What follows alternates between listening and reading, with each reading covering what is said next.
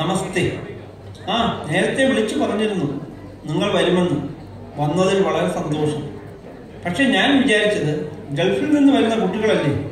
വളരെ ഫാഷനും ഇംഗ്ലീഷും ഒക്കെ ആയിരിക്കുമെന്നാണ്. ഇവിടെയാണ് രാജാ രവിവർമ്മ താമസിച്ചത്? അങ്ങനെ വിശദീകരിച്ചു പറഞ്ഞാൽ ധാരാളം സമയം പോകും. അതുകൊണ്ട് നമുക്ക് ഇതെല്ലാം കണ്ടു കഴിഞ്ഞ് ലൈബ്രറിയിൽ നിന്ന് പുസ്തകങ്ങൾ തരാം. ശ്രീ പത്മനാഭന്റെ ഈ മണ്ണിൽ കലയെ സ്നേഹിച്ച ധാരാളം ഭരണകർത്താക്കൾ ഉണ്ടായിരുന്നെങ്കിലും അതിൽ മുൻപന്തിയിൽ നിൽക്കുന്ന മൂന്ന് പേരാണ്. കഥകളിയിൽ ശ്രീമൂലം തിരുനാൾ സംഗീതത്തിൽ ശ്രീ സ്വാതി തിരുനാൾ മഹാരാജാവ്.